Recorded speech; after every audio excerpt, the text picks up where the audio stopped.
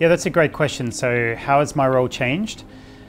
I think that the main main changes have, of course, been a shift to uh, remote. Uh, so, um, I think us as uh, online travel and uh, and also as hoteliers there's always been a sense of wanting to meet face to face and uh, and really uh, you know discuss our um, uh, growth objectives together. Uh, that of course hasn't been possible over the last few years, and so we've really had to adapt to uh, video conferencing, a lot more email, and uh, and other platforms and messaging and and, and, and online online services that are really helping us to stay connected and work together to drive growth uh, while at the same time, uh, you know, having that connection with, with each other.